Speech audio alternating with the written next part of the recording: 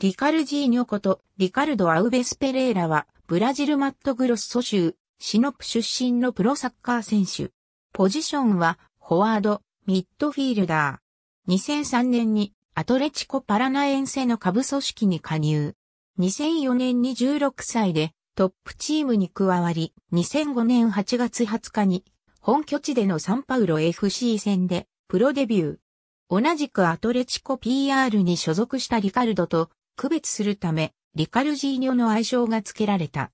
ユース代表として2004年の南米 U-16 選手権及び2005年の同 U-17 選手権仙台カップにも出場。2006年、アトレチコ PR はアメリカ MLS の FC ダラスと提携を結び、2007年3月のダラスとの親善試合では、リカルジーニョが決勝点を挙げ、アトレチコ PR の勝利に貢献。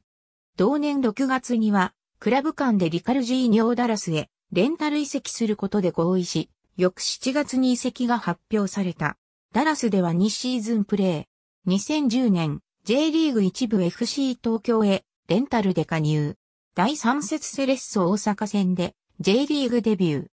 リーグ戦29試合で1得点と FW としては結果を残せなかったが、同年9月に大熊清監督が就任して、以降は突破力のあるサイドアタッカーとして、主に左サイドハーフで起用された。移籍期間満了に伴い、同年限りで FC 東京を退団した。FC 東京でのリカルジーニョ、ありがとうございます。